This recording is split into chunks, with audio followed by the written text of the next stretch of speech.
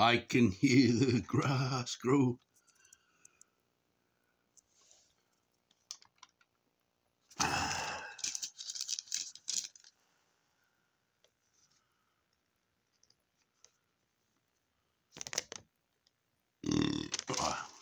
Bit out of focus. One of my local shops, I went there yesterday.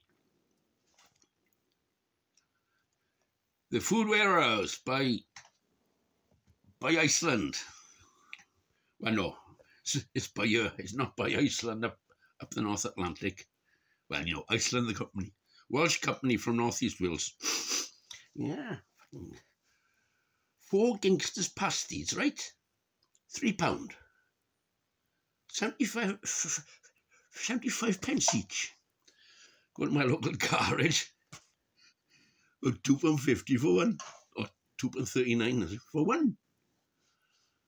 God, that's good. And I bought some uh, McCoy chicken, uh, southern fried chi chicken thighs. Chicken thighs. If you want to buy anything from the freezer section, buy thighs. It's got it all. It's not dry like breasts eating green car, green cat crackers with no water. and it's got plenty of essential oils in it. Chicken thighs. Well, traditionally, you just good balance of omega six, omega three, but because they depends what they feed the chicken, but I, chickens because uh, omega three is different, and um, it's it's not as stable as oil, uh, an oil as omega-6. And omega-6 isn't very good oil to have too much of. it's uh, inflammation promoting in your immune system. While omega-6, which is more of, a fragile oil, tends to go off. That's why you need to eat fish quick. It's full of omega-3. Oily fish. If you buy fresh mackerel, eat it straight away because mackerel, oh, you know when mackerel goes off, you know, when the oil um, is packed full of omega-3 oil, and you can taste when it's got off. It's got that sort of uh, slight vinegary taste and starts to develop histamine in, its, in the meat. And uh, you, you can bloody be very ill if you uh, eat old oily fish. One way of stabilizing it, like the native North Americans did, was uh, smoke it. Yeah, smoke kippers like we do in the in Scotland. Smoke kippers, which is smoked herring, smoked mackerel, mm. and that stabilizes it. But it's still got the omega three, but it it, it, it stabilizes it. Mm, yeah. What? Yeah. So. Yeah. It's just. It's about quarter to one year so happy Thursdays. UK, Britain, so on. Oh my God, yeah. Blown up pipelines in the Baltic Sea. I've been catching up on it, and it's, it's obvious. It was a NATO mission, obviously. They had to get those Nord Stream 1, Nord Stream 2, Russia to Germany pipelines out of Putin's equation. So put them out of action. So Putin can't uh, can't barter anymore using them. And there's been a lot of things going on in the dark shadows around Europe about sorting out electricity and um, uh, sorting out uh, energy.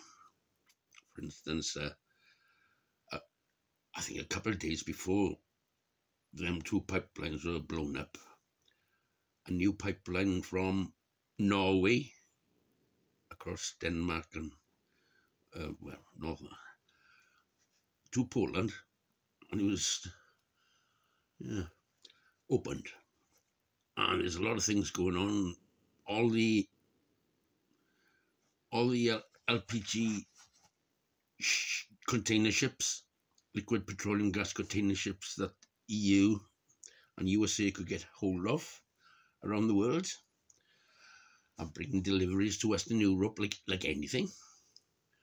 So, you know, uh, there's a lot of things going on we don't, and that are not reported, that are uh, de suppressed.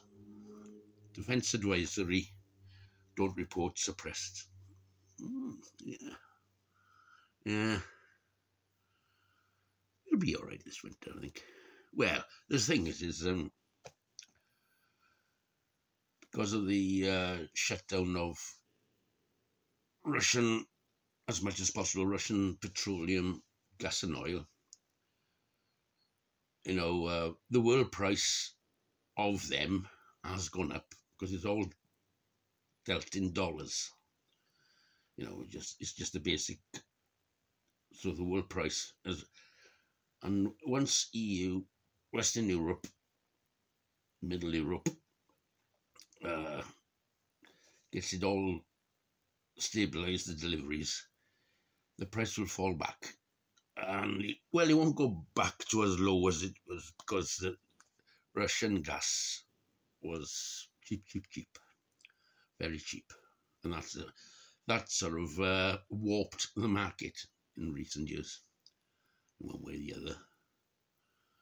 But you know, uh, gas prices are starting to go up for the last two, three years, and that's why the, all these British energy suppliers um, went bust.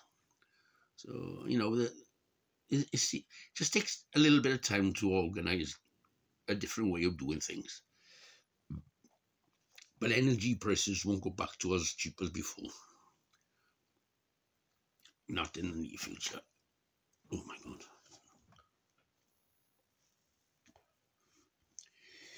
Yeah. Aye. I've been mentioning to a few people that do these um, various videos like on YouTube that uh,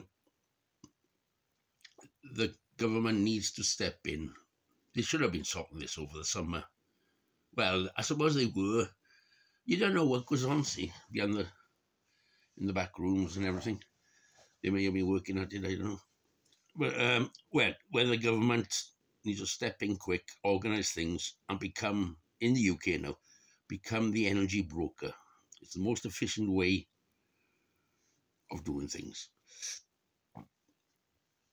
And, uh, and there should be a, uh, what's the word? A special fund for people on benefits and pensions, old people on pensions. There certainly needs to be a, a sort of section for them. You know, for instance, a local company near me, Oil for Wheels, my, my old friend uh, works for them. They're delivering free oil, uh, oil, heating oil, heat, free heating. A lot of people around here use, I use heating oil, not gas. There's no gas coming to this house. No gas on the road. Heating oil. Free heating oil for pensioners over 80. Something like that. They're doing that and they're out of their own pocket. Hmm.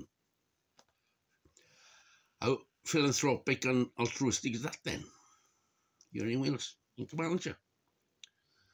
Uh, fellows based in Nantic if you know Nantic the petrol station. I think that's, yeah, that's, hmm. He was the one that first brought uh, LPG gas for vehicles. Yeah.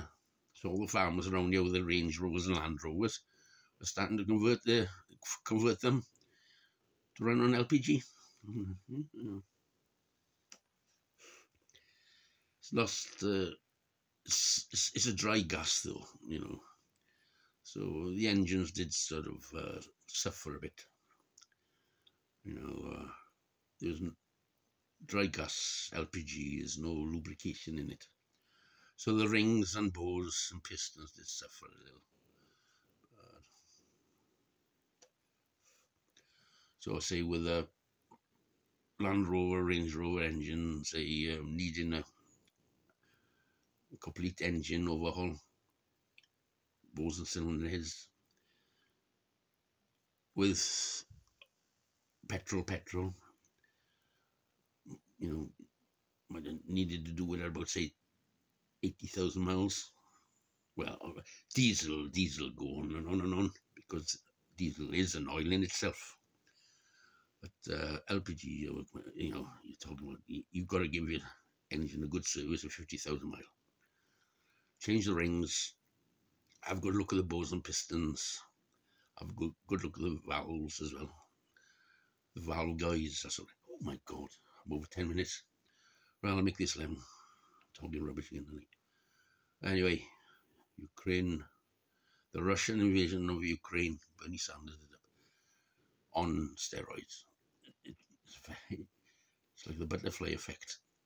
Something happens the other side of the, if a butterfly loses wings, uh, we have a tidal wave in Wales. We have a tidal wave in Wales. I'm not saying there will be a tidal wave. Last one we had was uh, 1607, was it? Long forgotten event. Yeah. Ta-ra. Have got Thursday.